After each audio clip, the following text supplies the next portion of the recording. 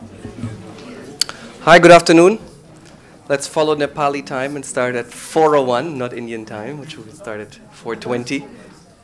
Indian stretchable. But welcome all to Brookings, India. It's a great pleasure to have you, all of you, uh, for what is all called a book seminar. What we do at a book seminar is basically we invite an author, scholar, policymaker who's written a book, a proper book, and this is a proper book, Sujeev. uh, and, uh, and we have that person present the book, and we followed up with a discussion with experts with different perspectives on that same book.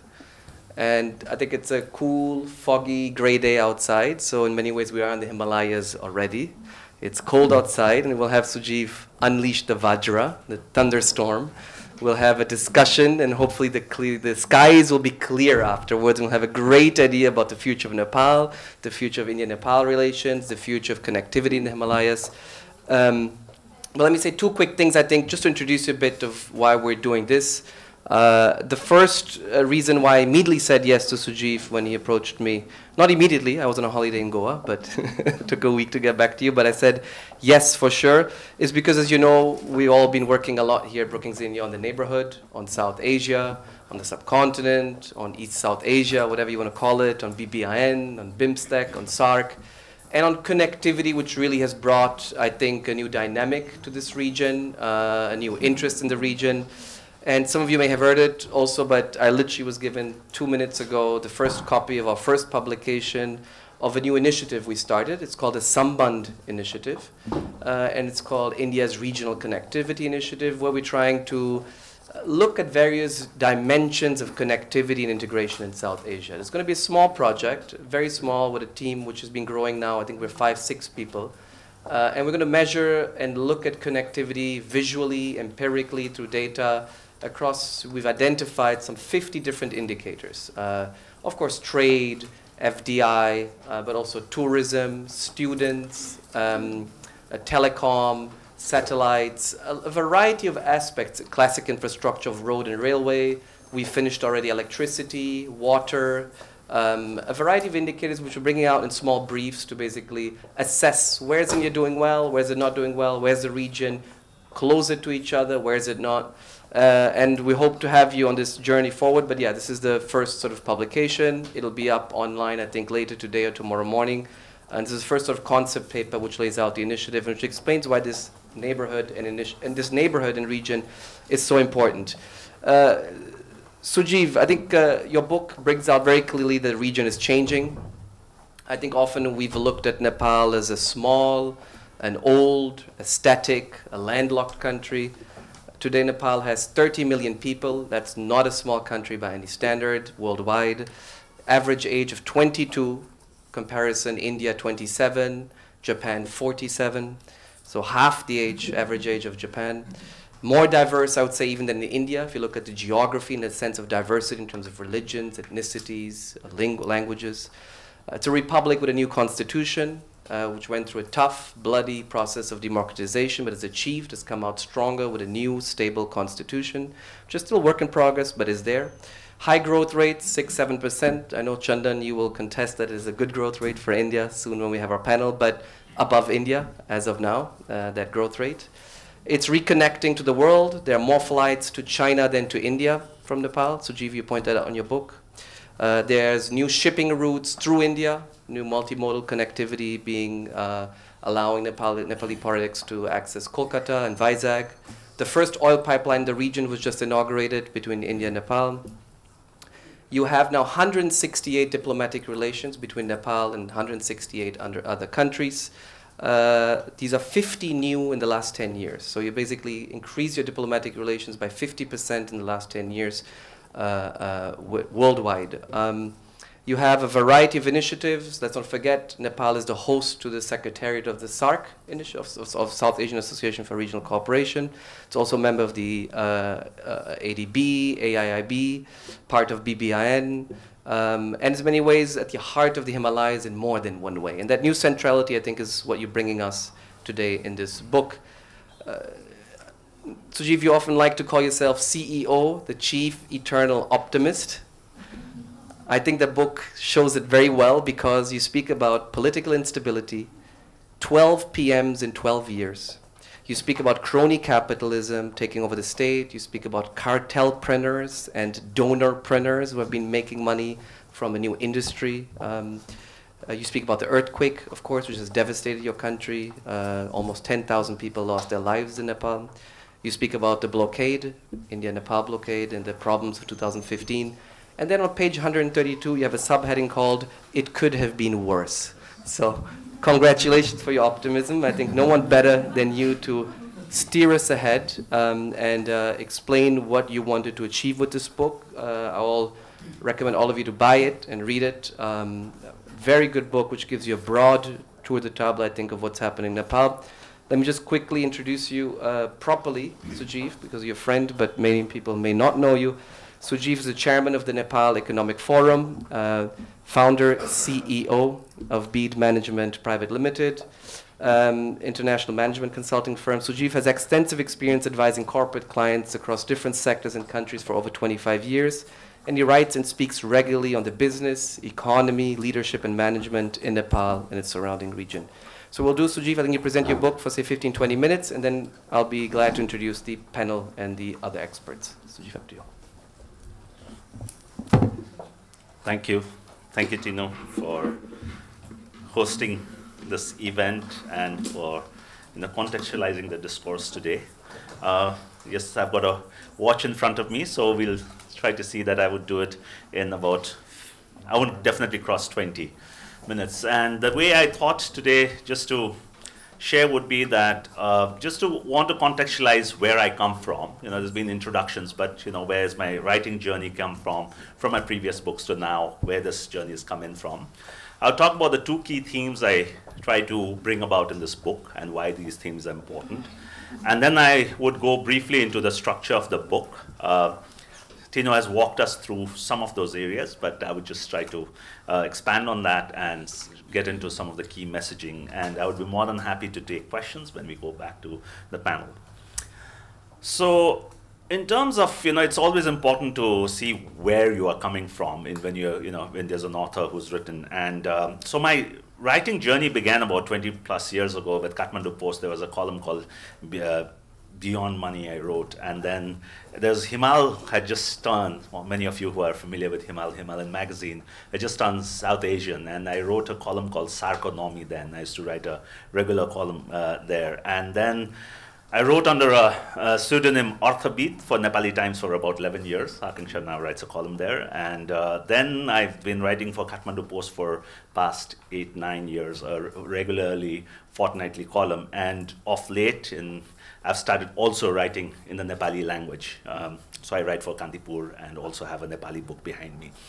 So I'm not an economist, but an accidental economist because nobody was writing on the, on the economy. So I started writing, you know, about the business environment. And uh, before starting Beed, I was working for one of the largest business groups in Nepal, where I spent 20 years and left as the group CEO. So there was a lot of uh, requirement of understanding the business, the politics, the, uh, you know, socio-economic dyna dynamics, and that's where I got into writing. And then, you know, got into writing compendium. State of Nepal was the first uh, compendium I contributed to. Then there was a collection of my uh, you know, pieces, um, beat bites. And then I wrote Unleashing Nepal, which was 10 years ago, when there was an open moment like this, where Nepal, you know, sort of the the Shah dynasty had come to an end, and as Nepal was grappling into the Constituent Assembly, and uh, the open moment we had uh, the current president of Afghanistan, Ashraf Ghani, who wrote the um, introduction to the book, you know, he came in as a consultant. You know, we talked about how failed states can become, you know, frontier investment destination. That really inspired me. And then, of course,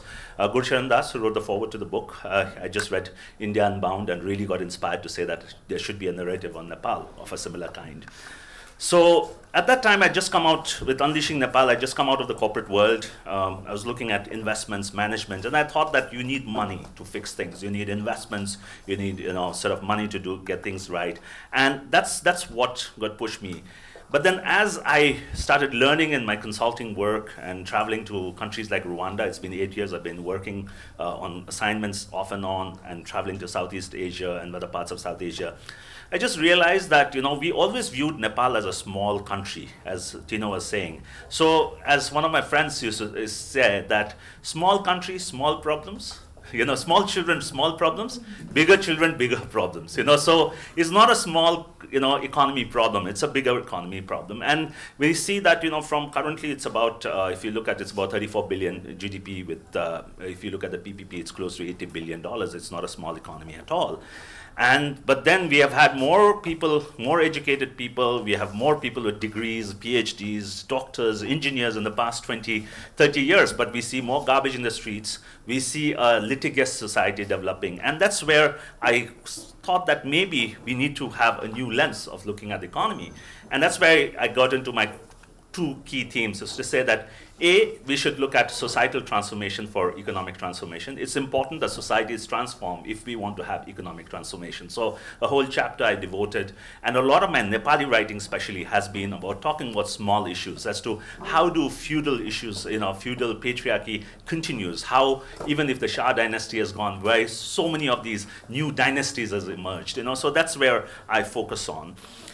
And the other key theme I talk about is that, and which is very, you know, as the book says, it's a journey between India and China. If you look at 16th and 17th century, India and China formed uh, about 70% uh, of global GDP and that was prosperous country and in between nepal was a very prosperous country it was a link state uh, between these two countries and let's not forget that nepal was one of the oldest uh, nation state in south asia so 2040 come 2040 we are going to be in a similar situation where india and china is going to be 35% of global gdp so nepal has an opportunity so that's the lens in which i talk about the book so if I look at the structure, it's like the Unleashing Nepal. It's got three parts to the book. One is the past. Uh, then I look at the context. What are the issues? And then I look at the um, what is it that we need to do, action on the ground. So in the past, when we look at uh, Nepal, and because of the writing around Nepal has always been by, you know, if it is international folks, and it has been people who, you know, travel from, you know, India generally uh, during the British India there were people who hobnobbed with some of the royals, and then they wrote, uh, you know, about uh, what they saw. And that's what really defined uh, Nepali, you know, sort of uh, history. But then I go back to 879 CE, where the Nepal era begins. Uh, so from there, what's been the journey 800, 900 years? How Nepali architects went and built temples in Beijing, and you see that in the hutongs of Beijing. I call it the bahas of Beijing. You see that. How, you know, how did that take place? And also it is you know important to look at we had oral history in the Newa language the, the community I belong to which is a Tibeto-Burman language. And the oral traditions got you know sort of uh, it got stalled in the 240 years. So there's not much we read in the English language at that point of time. And suddenly after 2008 after Nepal became a republic, you get to read a lot of those things, and a lot of those readings have come out. And so it's important to see how did the caste system proliferate, you know, how does, you know, how these were viewed by outsiders, you know, so that is very important, I see. And then we see the it's amazing transition of Nepal in 240 years. A dynasty comes in, and then after that, in between, we have Rana autocracy. Then in between, again, there goes back to the Shah, you know, sort of 30 years of Shah autocracy. Then we have multi-party democracy, back to, you know, sort of uh, uh, direct rule of the king. So we have seen permutation and combinations of every kind, where we have, you know, sort of uh, rebel Maoists coming in and becoming running the government, and we have coalitions of all kinds. So we have actually experimented everything and what are some of the lessons we've learned from it?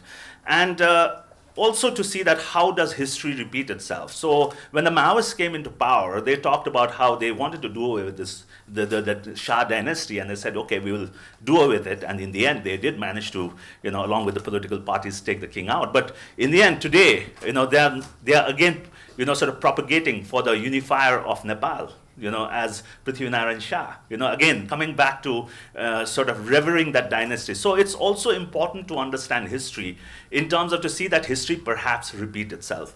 But as Tino said, I looked at what has changed for the better, uh, what has changed, did not change, and what it has changed for the worse. But I've tried to put, uh, look at a sort of positivity in terms of learnings from the history to say how that can define our future. In terms of the context, I, what I have done with this book is that I've avoided talking about government and bureaucracy. There's no chapter on government or bureaucracy because that's the easiest thing to blame. And I think as we as Nepalis, we have just, that's been the easiest thing to do. You mess up and you blame the government. you know. And so rather than that, you know, we say that, you know, how do we focus on the world of, as Tino was saying, the cartelpreneurs and the donorpreneurs, you know, people who rent seek on cartels, rent seek on, you know, uh, poverty brokering. And that's where uh, uh, I've tried to look at and explore because it's important to understand that it's the private sector that manages a lot of who gets into the government and who gets out of the government, who gets appointed and who doesn't get appointed. So these are groups that are managing these, you know, sort of things uh, behind. And let's not forget that if when you talk about uh, the donorpreneurs, 80% um, of the NGOs in Nepal have party affiliations. So when we are funding an NGO and working in an NGO, it's actually a, an arm of a political party that is working. So these are some of the things I talk about. And then we talk about as to where is the ambition of the private sector lie in terms of quality, efficiency, professionalism. Is that the issue? Rather than trying to see where is the problem with the, with the government. And then also, the, as you know, uh, sort of uh, being discussed earlier, things have changed dramatically with migration in, you know, out of Nepal.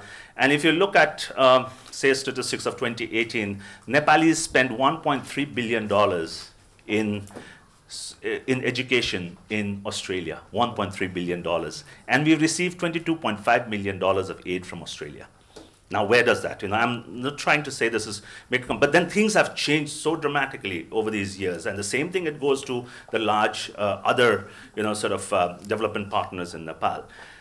So the world of remittances have changed. There's about eight billion dollars of remittances we receive. There's a lot of social issues around it, but also it is a societal issue that migration, unlike described in many of the reports, is not a new phenomenon. It's an 800-year phenomenon where, you know, my ancestors perhaps were in, uh, you know, in Tibet and in China. My dad was in Tibet. Uh, so, you know, there's been migration has been a part of our uh, you know, safe lifestyle. And if you look at the diversity visa that the United States government has, one million Nepalis apply each year, which means that one million are always ready. You know, able-bodied people are always ready to migrate, and we see that. You know, 100 years ago, for the during the World War One and Two, we saw that happening. So, how do we look at these issues? In the context, uh, the other, uh, my favorite, I continuously talk about the capitalist welfare state, which I've been propagating for many years, and to say that Nepal has its own definitions of socialism and capitalism. Uh, in Nepal, if you are clean, you are seen to be capitalist. Socialism, today I was tweeting, has to be a bit dirty. You know, English is seen as capitalism. You know, so there's this different ways of looking at it. And, and the key thing is that communism in Nepal did not come from China. It came through Calcutta. So we need to understand that the Calcutta communism is what got proliferated in, in, in, in Nepal. And so it, it brings its, its own you know, sort of baggage and challenges with it. Uh, when it comes to journey between India and China, which in the panel I think perhaps uh, we'll talk more, uh, is that um, with India we share a very historical relation. And one of my uh, friends, a columnist CK Lal, you know, he points out to say that, you know, India is like big brother who you keep on fighting with, and China is like that sweet cousin who comes with a lot of gifts, you know. Uh, so, so that's how he uh, tries to put it, and and I think I really, you know, sort of we never have issues with China, you know, as Chinese people, but definitely with you know, India, continuous uh, challenges. But then when we look at the uh, the geopolitics, uh, China is only became a neighbor after it took over Tibet. Till then, Tibet was our automatic neighbor. So we need to understand that we did not really deal with China in the past. So it was with Tibet we used to deal with. And the larger Chinese interest uh, came after the 2015 earthquake. They started taking interest in Nepal. And definitely after the blockade, we saw you know, more interest. And with BRI uh, coming in very aggressively. That has changed a lot of the landscape out here. So we can talk about this in bit more detail. Finally, in terms of the future uh, chapters, I talk about Vision 2030. It is something that I work with the Planning Commission to say that you know, Nepal needs six to eight billion dollars of investment every year to become a middle-income country by 2030, and that has to come from foreign investments. So we have to change our mindset to get foreign investments, you know, which has been curtailed by these cartels who don't want to, you know, allow international investment, technology transfers to happen. Sectors have not changed: hydropower, agriculture, tourism, you know, services, and infrastructure. So those are things I talk about. And finally, in terms of a societal transformation. I see the transformation taking place everywhere across Nepal. Now we have 753 local units across Nepal. And if you look at it, I think it's, it's about how we put on the lenses of wealth creation rather than looking at poverty elevation. You know, we are continuously always looking at how do we elevate poverty and how do you build a 500 rupee homestay, but rather than thinking of how do you do a $500 resort. There are lots of lessons, as I was talking earlier, about from countries like Rwanda, Singapore, you know, Cambodia and others we can use. And as Tino was uh, mentioning earlier, perhaps we missed out on the peace dividends, but we do have the opportunity of leverage our demographic dividends where you know, we have 50% of our population under 25 and 70% under 35. And if you look at what's happening in that space, so if you today, if you do music in Nepal, and if you, you know, getting 1 million hits has become a sort of a you know, hygiene factor or table stake. So if you look at Nepal Idol, a reality show that happens like Indian Idol here, the prize money and the transactions around that is larger. The second edition was larger than what happened in India in the 10th edition. So that's the sort of the youth engagements at different uh, levels that take place. So I, in the key messaging I talk about is how do we question the small, uh, you know, sort of uh, things like uh, Tino was mentioning at the beginning, we'll start on Nepal time. In Nepal, a lot of events happen. At times, I've been to events in uh, the parts of Nepal where there are more people on the stage than in the audience. You know, everybody going up there wearing, you know, uh, khada and, you know, scarves and all the formalities that go on. So, you know, so, so, and the role of the woman. So I always there was an event I went to, and there was this always when there's a tray that's passing, it's the woman who's carrying the tray, and the man is there putting on the khada or putting on the you know scarf. So these little societal behaviors, how do you how do you change that? And that's what I've been trying to look at. If you look at the male child, where does that entitlement begin? You know, is that the entitlement begins at home? So these are some of those very small things I keep on looking at because there is a potential that we feel that it can only be achieved through recalibrating the small things to make the big impact. The potential also comes from the fact that we are at a great geographical location with great natural endowment and great set of people. I think Nepal's biggest asset, when people ask me what's our biggest asset, I always say it's our brand smile you know, Nepalis you'll see. And that's what has kept us in the service industry very, you know, sort of uh, very competitive. You know, everybody, you know, even in the most distressful times. So you'll hear of stories when at the earthquake, when people went to help, uh, volunteers were asked what they would like to eat.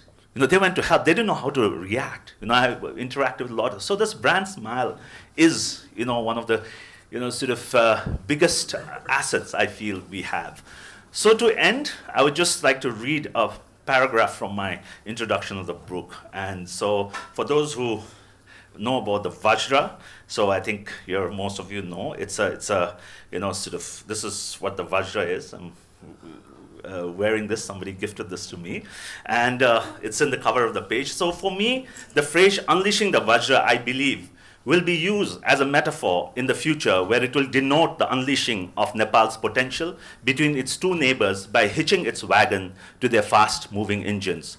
The Vajra can have different meanings for people of different faiths and beliefs, but for me, it is a symbol that denotes potential. It is also an assurance of a dream that cannot be put down due to the indestructible powers represented by the diamond, the dream of millions of Nepalis across the world. Finally, it is the irresistible force of the thunderbolt that will bring about positive transformation. Thank you.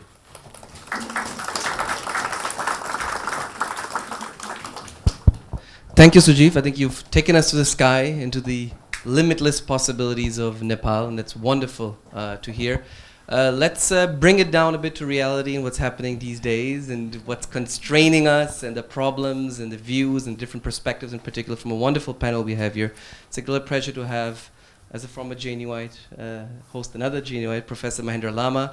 He's a senior professor in South Asian economics at Jawaharlal Nehru University and uh, India's nominee in the Eminent Persons Group, uh, which uh, came up with recommendations on revising the India-Nepal relationship. Uh, he's also a former member of the National Security Advisory Board of India. Professor Lama has authored over and edited over 15 books, and most recently, I think, a work on increasing regional connectivity between Northeast India and its various sort of Indian neighboring countries. He's also former Vice Chancellor of Sikkim University. Uh, to my extreme left, Chandan Sapkota. He's a senior fellow at the Nepal Economic Forum, which uh, uh, Sujeev leads.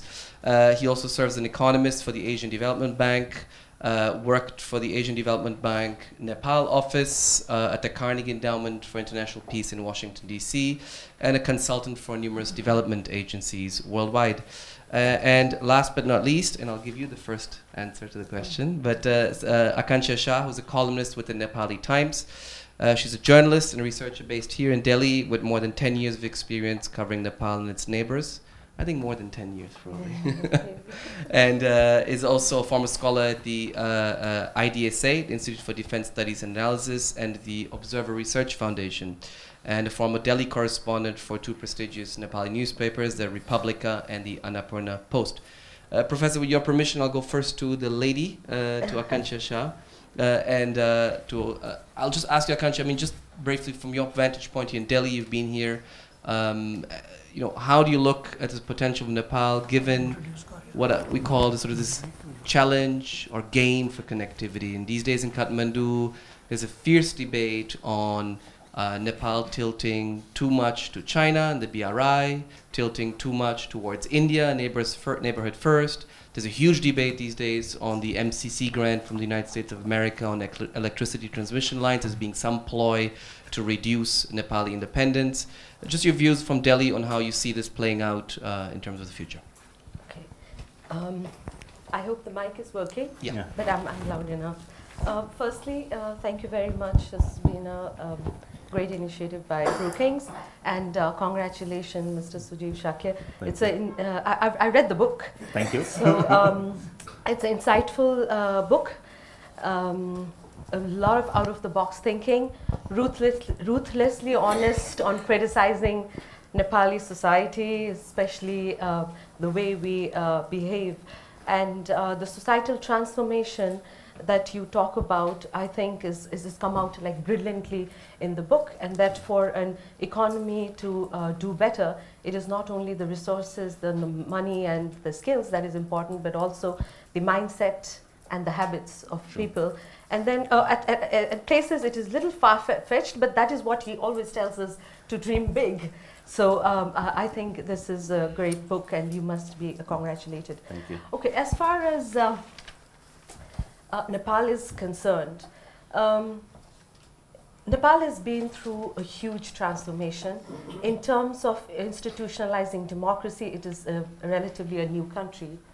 Um, India-Nepal relation in particular has seen huge turmoil, and many of us in this room are very uh, well aware. Ambassador K.V. Rajan is here. Um, 2015 was the turning point because of the uh, official blockade. Uh, there's been, uh, China has come into Nepal in a big way, like you, you've mentioned, Tino. Um, and uh, Xi Jinping's uh, visit to Nepal in October 2019 has been a game changer uh, Nepal's relationship with China has moved from becoming a, um, uh, a comprehensive one to a very strategic um, uh, one. Um, many uh, agreements have been uh, signed. The focus is obviously on infrastructure development, um, growth, education, and everything that is uh, mentioned in, in the book. So yes, there has been a large dominant China factor that is coming. But at the same time, uh, the US has also come in as a very important player in uh, Nepal. Um, there is an extremely um, controversial debate in Nepal right now surrounding the Millennium Challenge uh, uh, uh, um, MCC um, uh, grant.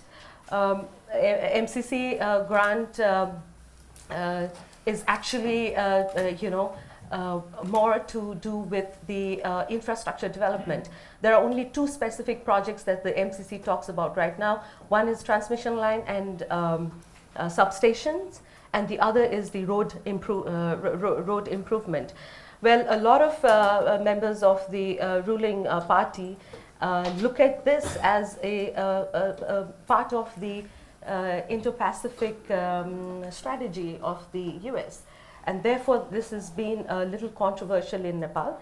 But uh, for me, as far as uh, you know, what I have seen, even in the Indo-Pacific strategy, uh, what are the basic tenets of the Indo-Pacific strategy? I think it is more uh, to do with again uh, infrastructure development, and uh, to look at it as as a you know as a strategy for a long-term uh, dominance is probably not the right way to look at. But yes, uh, it is uh, it is it is it is hotly debated. So both China and um, uh, the U.S.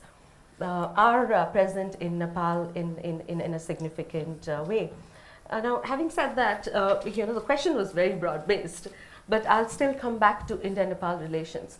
From the 2015 turmoil, we have now come to a phase where uh, from outside, it seems quite calm, and uh, there's been a, a much focus on the delivery. Just today, and I think today is a very good day to yeah, talk about yeah, India-Nepal yeah, relations because uh, one of the integrated posts, uh, ICP, at the Biratnagar border has been handed over to Nepal. Some 50,000 uh, private households as part of the reconstruction after the earthquake has been handed over to Nepal in Gorkha and Nuwakot districts. Uh, well, this is uh, this is this is very uh, important because you know the emphasis on the delivery from the Indian side, which uh, has been there in the debates in Nepal. Uh, um, is, is, is, seems that uh, you know the Indian um, um, government is focusing on the delivery. This is extraordinary. Um, that is one. Um, second is if I can just take one more minute and bring back to this thing. Uh, a lot of things are dependent on the domestic politics in Nepal, you know, and, and maybe we can talk later on the, uh, you know, the foreign policy, but uh, uh not everything is well on the domestic politics. Um, a lot of engagement, Nepal's engagement with China and India, I feel will be dependent on what kind of foreign policy orientation we are going to have. There is probably not a not much clarity on that, but uh, the domestic politics and the foreign policy orientation will be very, very vital. About the uh, domestic uh, part, let me just quickly follow up with your question. I think uh, Sujeev has at some point in his book this idea, which is not going to be strange to you, but he says, um, uh, let me read, uh, India in many ways you know, is sort of an electoral rallying cry inside Nepal, and people use the anti-India sentiment constantly to rally political support. And when you're in opposition, you cry anti-India. When you're in government, you, you change your view. How strong is that still? Has it become stronger? Is it weaker in your sense? And is it actually leading to a lot of protests or at least issues? Absolutely, absolutely. The present government of KP Sharma Oli came to power on the basis of, of anti-India, yeah. um, uh, you know, uh, pl platform. Um, and, and in every election, this is an important uh, issue. But inside Nepal, and I have just traveled for three months within uh, Nepal, I think there are two kinds of political debates which are, you know, very, very predominant. One is, and which is obviously the majority view and also reflected by the, um, you know, the overwhelming victory of the Communist Party in Nepal, that uh, India is still probably viewed as an interfering power and therefore India should uh, probably focus on delivering more, then, uh, um, then probably interfering in the political discourse of Nepal, and uh, therefore the shift to the, uh, the, the, economic relationship. You know, if you look at the economic relationship between India and Nepal, we've achieved great strides. The railway projects are being delivered. There's also talk about inland waterways. The road upgradation and improvement projects have been hugely pushed from uh, both the both the sides. So there uh, we are doing well. But then at the same time, the uh, the, the um, you know the debate which was there even uh, during the adoption of the constitution, uh, the the the uh, you know the concerns of the minorities, the Madhesis, the the the women, you know. Uh, the, the whole debate that uh, the constitution has been discriminatory to the minority community, it's still there and it's still, uh, it's, it's, it's still alive.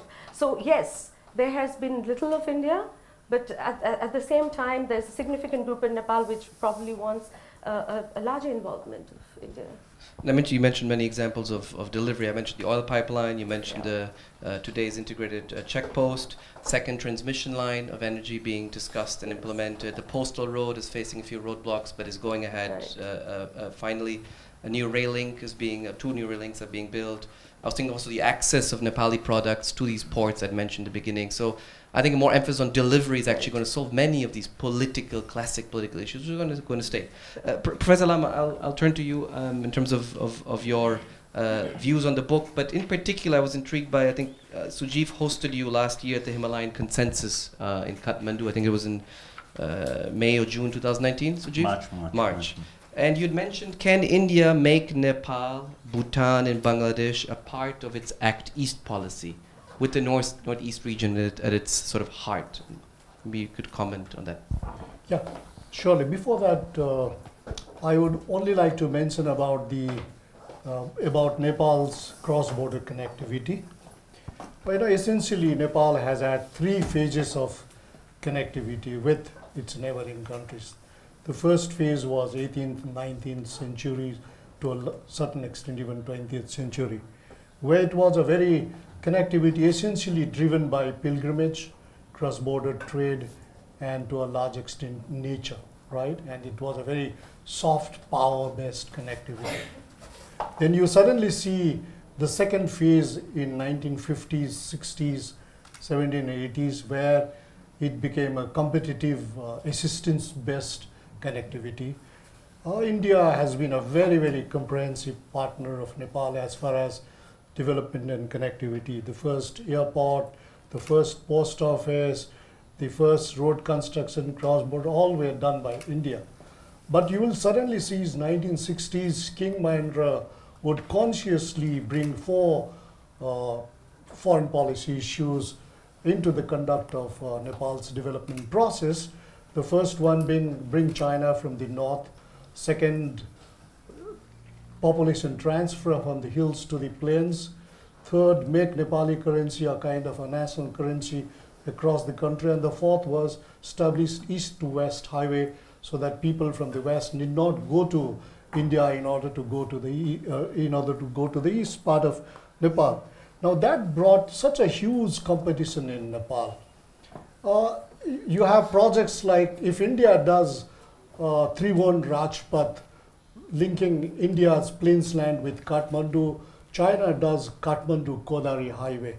If China does Sunkosi Hydel project, India would do Trishuli and Devighat. If China links Pokhara with Kathmandu with Prithvi Rajmarg, India would link, link Pokhara with the plains land of India known as Sunauli Pokhara Siddharth Rajmarg. If one does airport, the other does the ring road. So it used to be an absolutely one-to-one competition in Nepal, right? And uh, that brought uh, two, three very, very critical factors into the into into in in India-Nepal relations. For the first time, India said no to no to Chinese projects in the plains land. Secondly, you will see China trying to cut down India's role as acutely as possible. You know, delinking, say, for example, east-west highway, making a small connections uh, to, to at Narayangarh to, to, to make India's Tribhuvan Rajpath uh, a kind of a redundant. So it, it was. And the third phase now is a very transforming phase precisely because both the, in this transforming phase, there are very serious changes in Nepal domestically, you will find. First, of course, is you have federal states in Nepal for the first time. Uh, secondly, you will see a large number of multiplicity of uh, uh, development partners in Nepal. I was just checking the figures and you'll be surprised that I saw that in case of in Nepal, there were hardly 37 NGO and, NGOs and INGOs in 1987. Today it is more, more than 40,000 INGOs and NGOs in Nepal. That is that is what that means per million availability of NGOs and INGOs is possibly the highest in Nepal today, right? It's it, and it's a very very complex situation as far as decision making process is concerned. So India is essentially driven by, as you rightly said, a much, much transforming uh, foreign policy project like Act East policy, and Chinese, of course, by the uh, by the by the project like uh, like like uh, Belt and Road initiatives. You know, but you will find a striking difference in India's approach in Act East policy and China's approach in Belt and Road initiatives. China's Belt and Road initiative is essentially driven by uh, by what you call a kind of bringing the entire Asian region into the picture. Say, for example, they have consistently followed what I call in my recent uh, articles, I say it is a kind of a, in Sanskrit, we call it Trishul, Trishul approach. It is a trident. You know, first you have a local integration, then you have a national integration, and third you have a regional integration. Go to Central Asia, go to Southeast Asia, go to East Asia, and to South Asia, you will find absolutely the same pattern. In South Asia, including with Nepal, the local integration is through something like Tatopani border, mm. Kerung, right? Mm. Uh, with India, Nathu La, Shipkila, uh, and Lipulekh, in, uh, right? And with uh, Afghanistan, it is Wakhan corridor, and with Pakistan, it is such a beautifully designed and a very consciously designed local integration. Secondly, a national integration, again, that means you really grab as far as trade and investment is concerned and technology is concerned. So today, most of South Asia's over 25% of their world global trade, except India, of course, I think India is about 19%, but most of them will have about more than 25% with China. This has never been the case. Two years or 20 years back, it used to be hardly 5, 6, 7%. So it is a very, and third is engage the regional institution, SAARC, BB, BCIM, or uh, BIMSTEC, RCEP, ASEAN, right, and CAREC in Central Asia. So you will find a pattern. But so how do we, how do they balance it? How does India balance these kind of cases? Because it is, it is such a comprehensive engagement, trying uh, possibility engagement by possibility of engagement by China. So for India, one of the very clear ways forward would be to really put the entire uh, Himalayan regions, right? Precisely because Chinese are now trying to uh, develop a kind of a distinct affinity with Buddhism and Himalayan regions. If you see, I, I happen to teach in China for last two years, and I saw a very conscious policy on the government, on the part of the government of China to develop institutions related to Buddhism and to develop institutions related to Himalayan regions. Never been the case.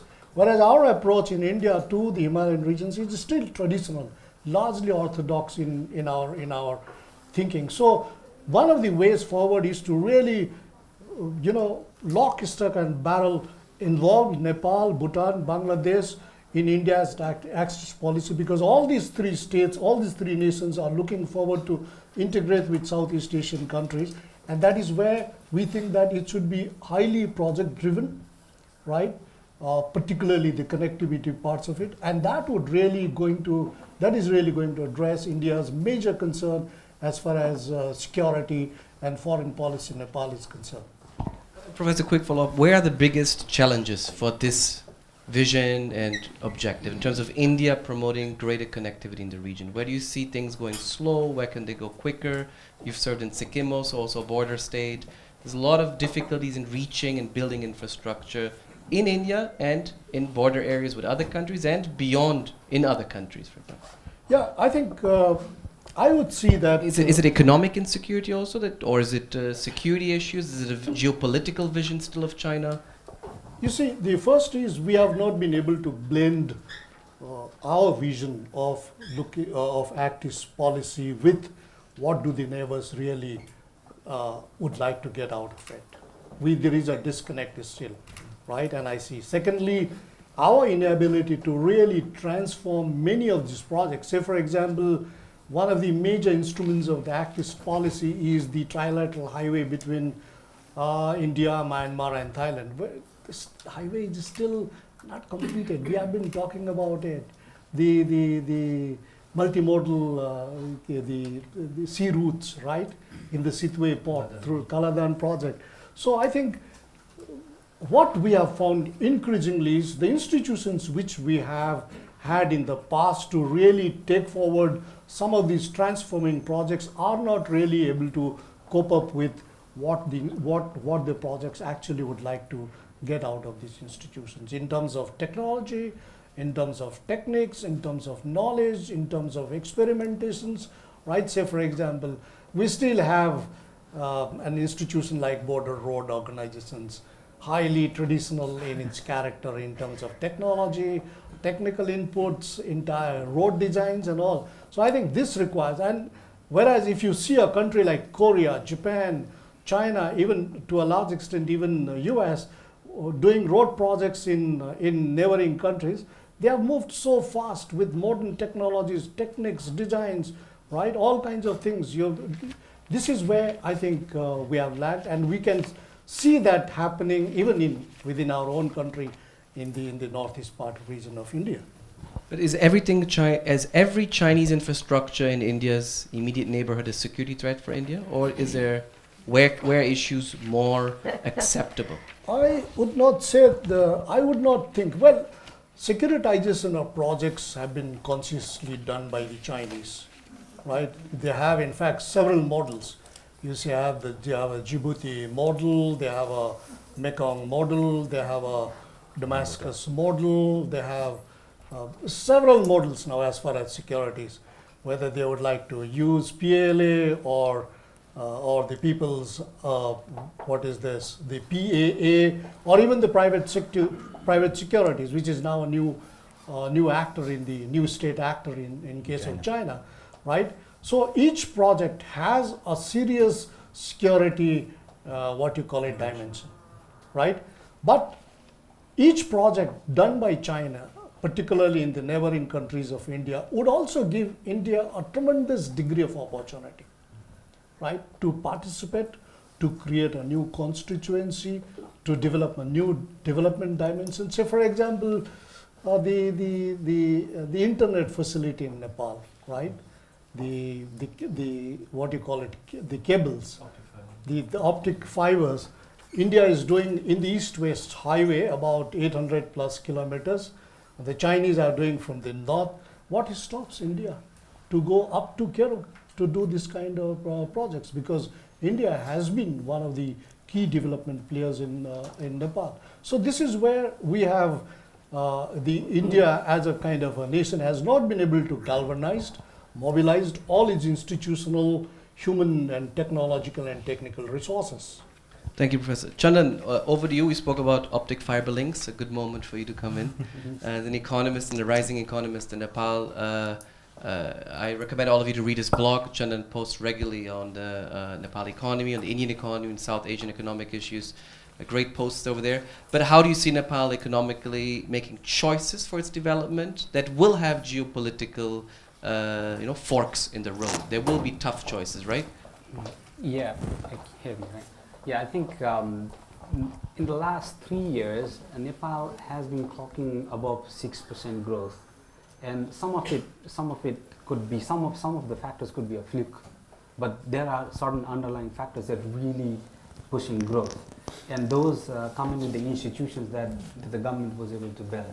Political stability has a huge role in ensuring domestic investors invest money in the country, whatever liquidity is available still the foreigner, foreign investors are wait and see mode. Not not big projects have come in except for some Chinese projects, um, just to the extent of commitments. So they have secure commitments from the government for certain projects.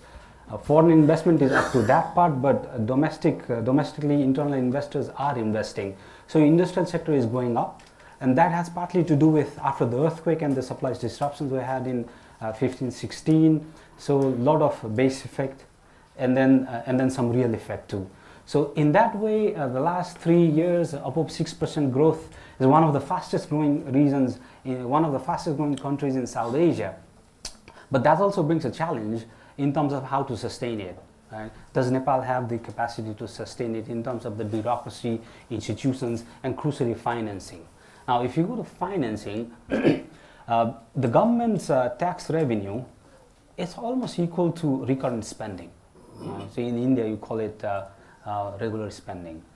so that comes out directly from revenue. So, but then government wants, but then the government wants the economy to grow. So you need to bring money from somewhere. So in that process, government is trying to borrow, and when it's borrowing, fiscal deficit is growing up. But how do you how do you balance these things uh, with the need of external financing? And there are certain players in Nepal where um, Uh, they have been traditionally like ADB, World Bank, which have been giving concessional lending, but that too, that too is drying up slowly because Nepal per capita income is going up. So they want to graduate Nepal to a, a, a blend of concessional and non-concessional lending. Beyond that, Nepal needs more. For example, right now uh, the, ca the capital spending is around 6%, 5 6% of GDP. If you really want to plug the infrastructure gap, that's like eight, that's between, what we need is between 8 to 12% of GDP worth of funding in infrastructure, five or six infrastructure every year. So there's a huge gap. Where do you bring that? That's equivalent to almost like 1.5 to 2 billion dollars extra money every year. So where do you bring that? And obviously, you, you look at India and China. Right? A lot of Indian investors, largest investors in Nepal are, are Indians, largest tourists come from, a lot of tourists come from India. Uh, all these exchanges, trade, all these things happen, majority overwhelmingly inclined to India. But then Chinese are slow, Chinese investment is slowly picking up. So these last two years, Chinese uh, commitments, not like actual investments. So commitments are actually larger than Indians, India ones. So Nepal is increasingly looking to Chinese BRI policy banks. What you call among the BRI policy banks, you name it any kind of development, each development uh, banks, China has AIIB, uh, China Development Bank, Exim Bank, all these things come in. So they are increasingly making inroads and picking up big projects in Nepal. They do bidding, and then the Chinese uh, investors somehow uh, tend to bid, uh, tend to underbid the project and secure the projects.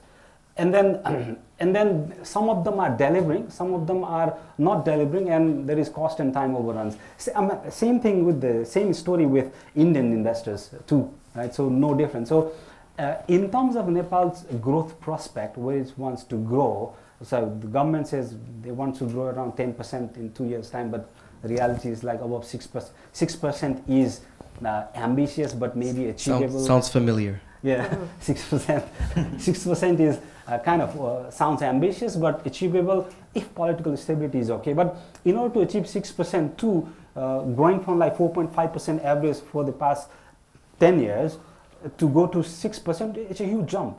And for that, you need more money from outside. So there's not much liquidity in the country. Government can spend too. Uh, revenue sources are drying up uh, for the government. So it has reached the um, it has reached its threshold in terms of uh, in terms of raising domestic revenue. You can't have you can't have year and year year and year 20% revenue growth every year. It's kind of not possible uh, in a growing in a country in an economy like Nepal and Nepal's tax to GDP ratio is almost is actually one of the highest among low income countries. I mean it's it's like 20 27 percent of GDP uh, equivalent 24 24 25 percent of GDP equivalent of revenue that you are generating is huge for Nepal and and that Nepal has reached the threshold now it's reaching the threshold so you need external sources so it obviously it has to look sideways and China with a lot of money and a lot of ambition to launch big projects. They are not interested in small projects. Indian investors are interested in medium, large, small, all kinds of projects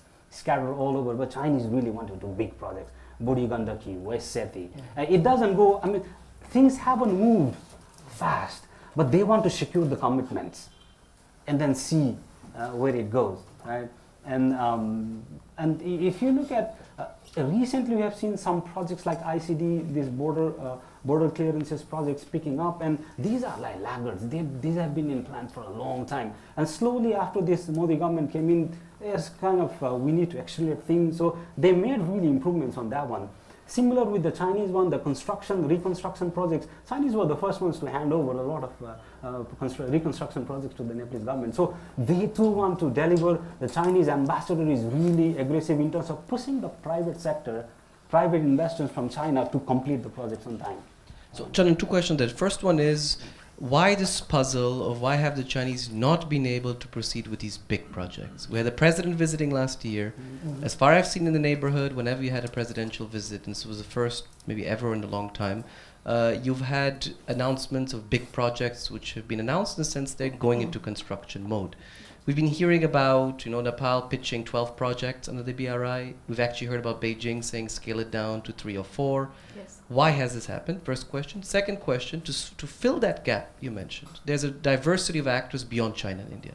You mentioned the ADB, The AIIB had its first loan, I think, to Nepal last year for a project on solar or energy, I think.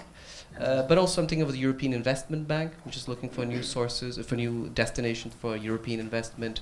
Uh, MCC is also there, and there'll probably be benefits, obviously, for American companies. Mm. So, what is the strategy in Kathmandu on that second account in diversifying the, the Ah. pot and attracting new investments? Yeah, on the first one, um, the reason why projects haven't picked up, it's not the, the reasons are not uh, uh, typical to Chinese Chinese investors initiated projects. The same thing with Indian initiated projects, except for the government-backed project like Shotlas is doing Arun 3. I mean, it was 100%. We knew funding was guaranteed by the government, so it went ahead. But for the GMR, Upper Karnali, I mean, it's really hard for GMR to financially close the project. right?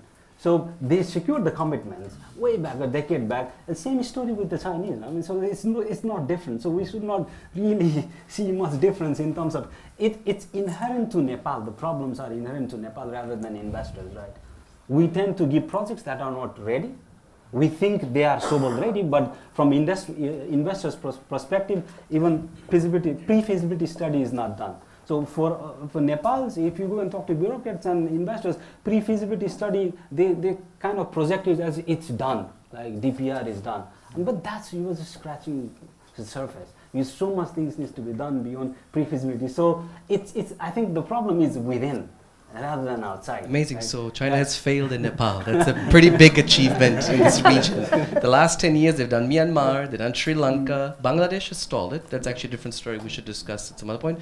But interesting, Nepal, you're saying it's inherent. And the second issue, diversification. diversity, yeah, I think we need to diversify in, in the sense that uh, uh, we have reached a stage where our uh, fiscal deficit has grown so much.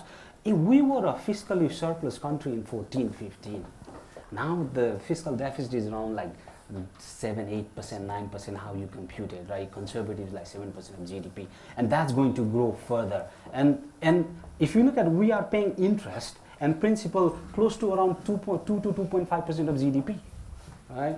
And, and that is going to grow more. And it's like negligible three, four years ago. So uh, that thing has gone like, it, it has a balloon.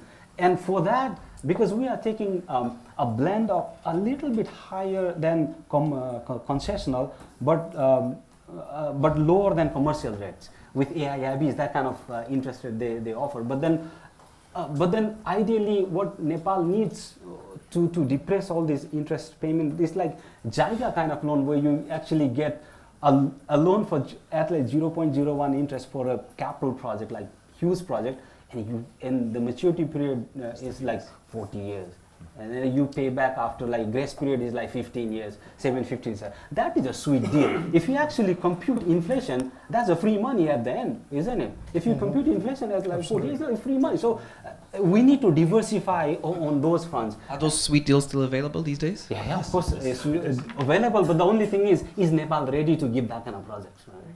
Uh, do, uh, do we have enough? Pro- do we have enough projects in the project bank to give it to the investors?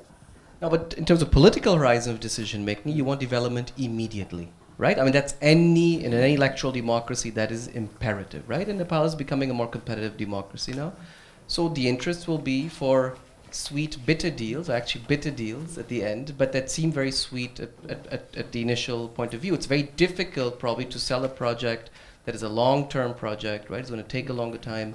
Uh, do you see that debate playing out? China, quick buck, good project coming in, and let's keep the others out No, because as, they I, as, I, as I said before, so Chinese are more interested. No, not interested. Apart from a lot of restaurants and things in Thamel, uh, these are small-scale investments coming like Chinese, uh, but these are not really pushed by the policy banks of China anyway. Right? It's coming on their own, uh, on their own. But the Chinese, as with any other investor from any other country, are doing big projects, and it takes time. So there is no quick win. There are no low-hanging fruits in terms of big projects that you can pluck in. Um, uh, the only thing is, how do you how do you lower the fiscal burden of a loan that you actually secure from a third country? Uh, and is there any are there any option for the same project we can actually get a cheaper loan? So I think debate should be there. Right? Not not that with the Chinese bureaucracy. The Chinese want to give a loan equivalent to JICA. I mean, it's good for Nepal. It's good for us. Debt burden is low, right? Uh, but the thing is, every country has their own procurement system and they have their own intricacies on the bureaucracy. So Nepal's bureaucracy is not yet capable to actually wade through all these things and understand the intricacies. So uh, as I Sujeev said, like donorpreneurs, cartelpreneurs, everything starts coming. You have agents. A big investor wants to come in. You have agent coaxing the government and influencing cabinet decision before the respective line minister knows it. Yeah. The proposal actually was passed. One of the hydropower projects, initiated by one of the uh, northern neighbors, was actually passed by the cabinet without the knowledge of the energy minister. I mean, these are the things that happen in Nepal.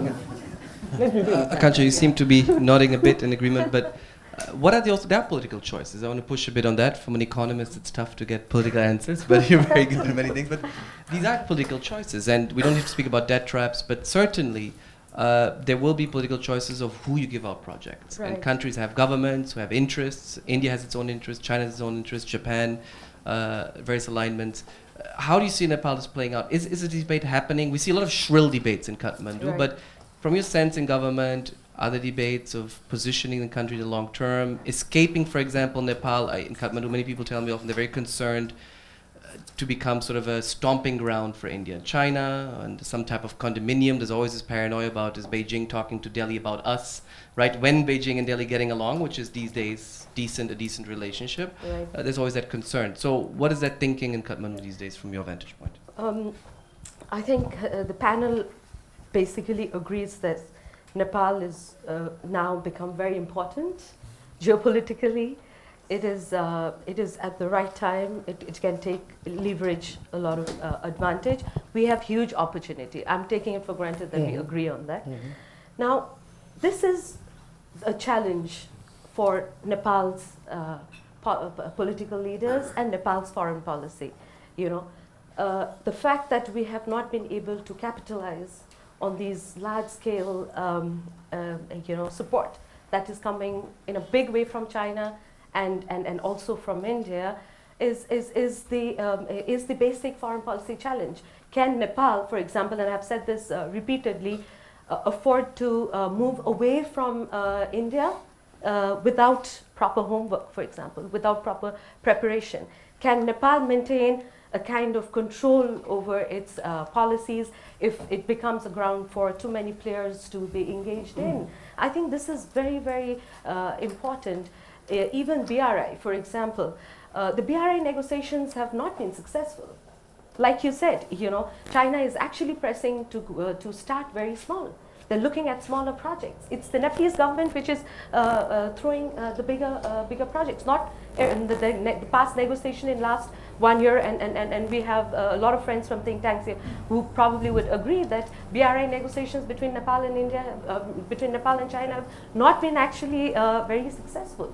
So these are th- this is one of the foreign policy challenges. Second is like I told you, you know, a lot of thing is going to flow from the domestic politics and how Nepal is going to balance.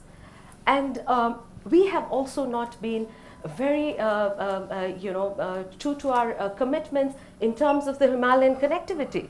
Look at what has happened in BBIN. Look at Nepal's commitment on BIMSTEC. BBIN, the last um, uh, meeting, I think uh, there was no representation from uh, the, the Nepalese, Nepalese side. BIMSTEC, y- you know, was very, very controversial.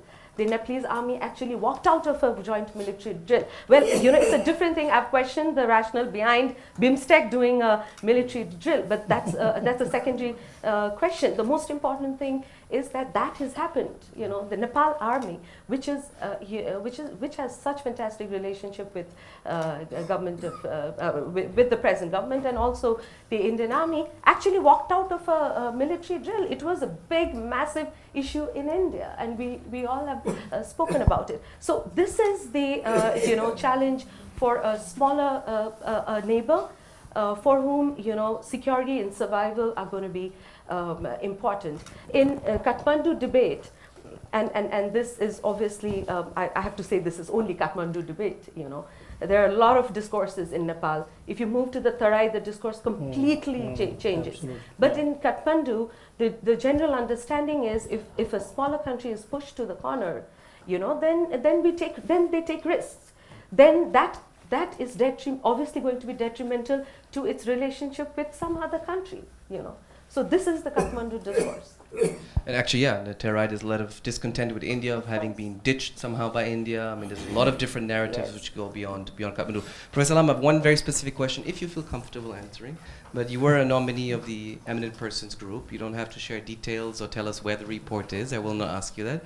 But the Eminent Persons Group was asked by both prime ministers of India and Nepal to think for look backwards and think forward, right? Where has the relationship come from? We have a 1950 treaty which has speci- specific prerogatives where India, you know, comes out a bit stronger, right? Has certain rights over, for example, military imports, etc. An open border, which is an amazing open border, which is more open than most open borders these days, including, say, the U.S.-Canada border and many other borders of which we think is quite open. Uh, you know, looking forward, you think that what we call the special relationship between India and Nepal, it's a very special relationship, right? You can have, you have Nepali citizens serving in the Indian armed forces. You can have Nepali citizens serving theoretically in the civil services of India in certain ranks. So that is a special relationship between two states. But would you agree that a special relationship, as anchored in the 1950 treaty, is actually becoming a liability for normal India-Nepal relationships in this modern age where there's many more alternatives also for Nepal? Well, uh, mm, this particular uh, group of uh, eminent persons has been given a much, much wider mandate than the 1950 treaty. And so, in our reports and in our discussion meetings across Nepal and in India, uh, we have discussed on issues related to trade, investment, to access to Vizag, Vizag port, to Calcutta port, to other ports, climate change, to institutional, uh, what you call it, uh, uh, capacity buildings in both countries, borderland developments, not the geometric line of as a border, but the borderland developments and all. But on 1950 treaty also, we have had uh, several rounds of discussions, and uh, whatever we had to uh, suggest, advise, we have already given that. But uh, during our uh, mm, uh, interactions on both the Nepalese sides and the Indian side, and uh, uh, and in, our, in our confabulations with other stakeholders, it is quite clear that 1950 treaty has worked very well, precisely because this gives a kind of unhindered access to Nepalese in India in terms of uh, employment, in terms of business, in terms of other social issues in education, health, and all. Similarly, for Indians to do. So I think uh, nobody really questions that spirit precisely because it is uh, man to man, it is institution to institution, government to government, and uh, it has, except few occasions, it has worked uh, perfectly well. But in, in, in terms of a number of issues like uh, uh, cross-border environmental injuries, like the Kosi flood or the Kedarnath flood, uh, in terms of uh, sharing of water resources, in terms of uh, anti-social activities, such kind of things, I think there are ways. But one of the things which we have uh, very widely discussed in our report is how to equip Nepal with second generation institutions. Know, the one which we have been discussing here, not able to deliver good services, not able to meet this target, not able to negotiate, uh, you will find some kind of a clashes of dreams between what one country thinks and one other country thinks about it.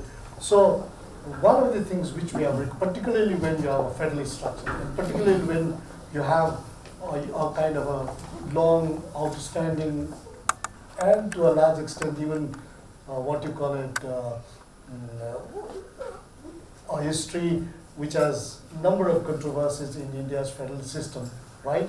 Despite that, we have had one of the best uh, federal models in the country.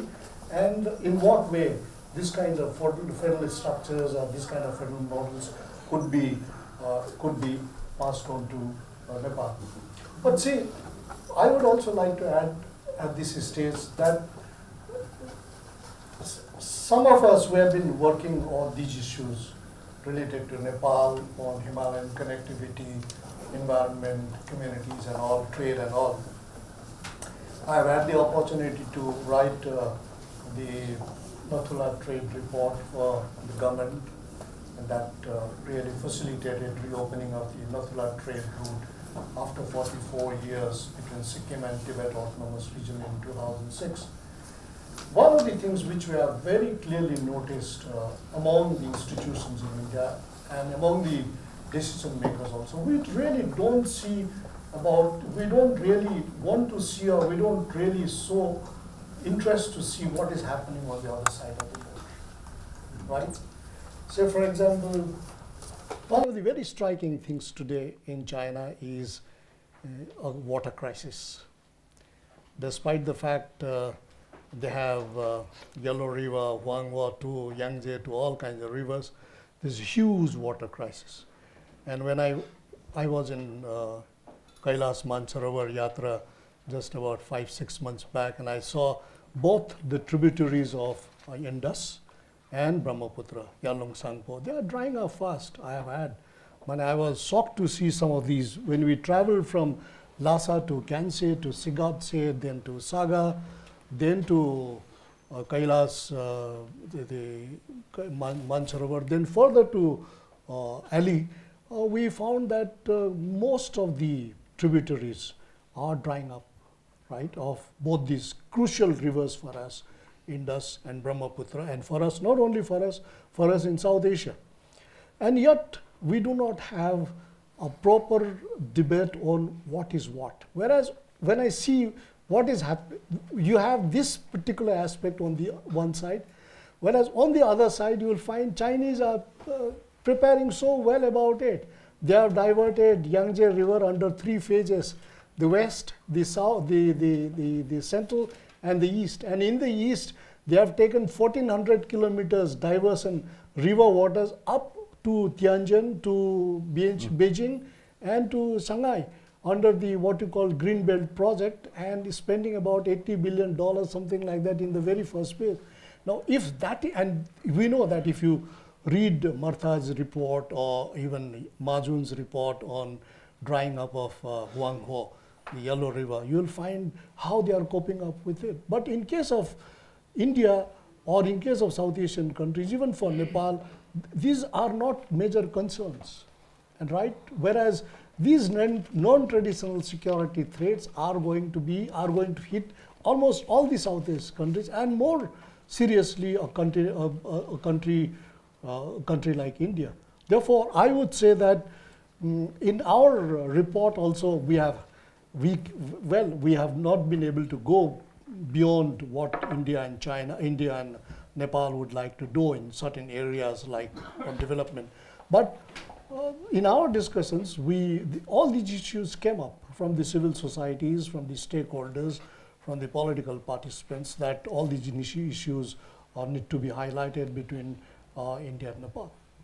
I was just thinking of the wonderful ICIMOD report recently on the Hindu Kush right. and the Himalayas. Mm. It's a fabulous report. It's online. You can download it uh, ICIMO, Integrated ICIMOD. Center for ICIMOD. Uh, ICIMOD, yeah. So in Kathmandu, and they have a wonderful report on the Hindu Kush and the Himalayas, and they look at migration, Absolutely. they look at land land issues, they look at, of course, climate change, they look at a variety of water, uh, energy, etc. Um, I think we'll open up to the to the audience. Uh, Suji, if you can come in now freely. Now we've debated you and debated what you've in many ways invited us to debate, and uh, and we'll take different uh, sure. questions and, and open it up. yes, sir, please.